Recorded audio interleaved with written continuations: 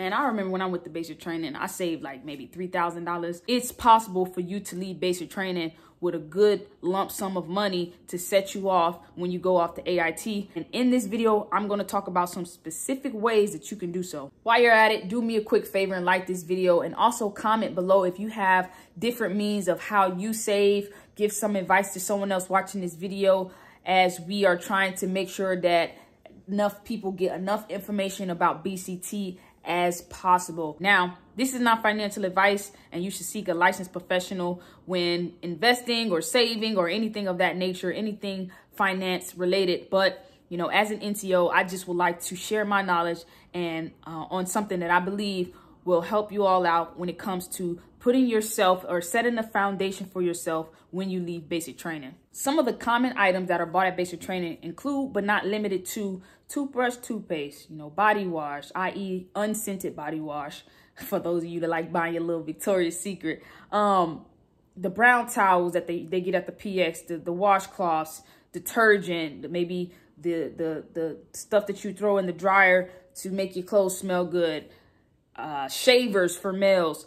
There are common items that you will have to restock in throughout your nine week cycle or 12 week cycle, however long your basic training is not saying to not buy from the PX, but what if they don't have a specific razor or a specific deodorant that you use? Um, I'm not saying that they run out of things, but let's be realistic. When there is when there is uh, demand, you have to have the supply, and you're talking about trainees shopping at a shop X, getting items that they need. Sometimes they may not have, you know, the, the shavers or they run out of, you know, green socks or not saying that they won't get it in at a, a decent time frame for you to go back and get it. But sometimes that happens, right? I mean, it's natural. So with that being said, how can you save money when it comes to these areas? One of the ways to save money is to get on these groups, whether it's a nonprofit organization, a Facebook group, and tell them that you're going to basic training. You have to put yourself out there because there are people and organizations, nonprofit organizations,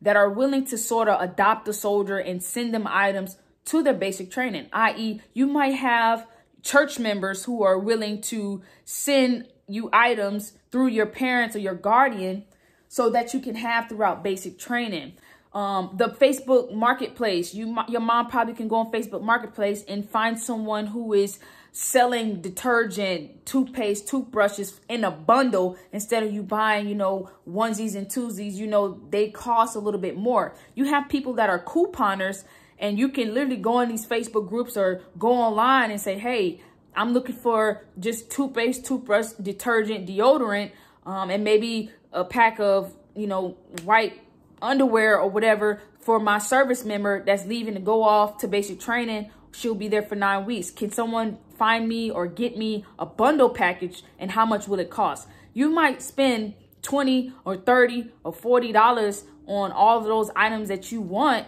versus you going and spending $60 at the PX for some green socks, some black socks, whatever the case may be. Another thing that I want to talk about is in order obviously to get these bundles because when you have your phone and basic training you, you won't have time to get on facebook go on facebook marketplace and do all that. Talk to your parents your best friend whoever. Let them know what you would like for them to do for you and you would probably like send them you know you'll take you know do something for them go take them out to eat when you leave basic training but a lot of times people will do something just because they they they are happy for you. The fact that you're going to basic training, they want to help you out, especially, you know, your close friends, your parents, your aunts, your nephews, whoever, okay? They are willing to help you out because they are proud of what you are doing. You're serving your country and they just want to help. So they're not even looking for anything in return. So with that being said, have the discussion with your parents and let them know, hey, I want to try to save as much money as I can. Here is my goals um, want to graduate and have 3,000 or 4,000 in the bank according to what rank you are, you can, you know, reach that goal. And you can do so by going in these groups, finding nonprofit organizations, um, cutting back on spending on miscellaneous things, i.e., you know, you go to the PX, you might buy a notepad or a pencil that says Army on it for $5. Well, what are you trying to do? You're trying to write, correct? So tell your parents or whatever, send you pens, uh, pens and pencils, you know, for 10 cent from Dollar Tree. You go to Dollar Tree and find notebooks that so you can write your letters for a dollar. You know, you might spend a dollar 39 at the PX. I'm not really sure on the exact price, but I'm just trying to put in your brain some ways that you can go about saving money. You know that you're going to write letters. You know you're going to need your stamps.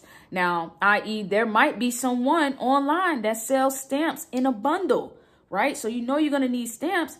Reach out to these Facebook groups. Look online, Google. Everything is on there. You have people that are selling this stuff in bundles or you probably can go get a deal at the post office. I am just trying to show you ways once again of saving in basic training. I hope you enjoyed this video. Thank you guys for tuning in. I'll catch y'all on the next one.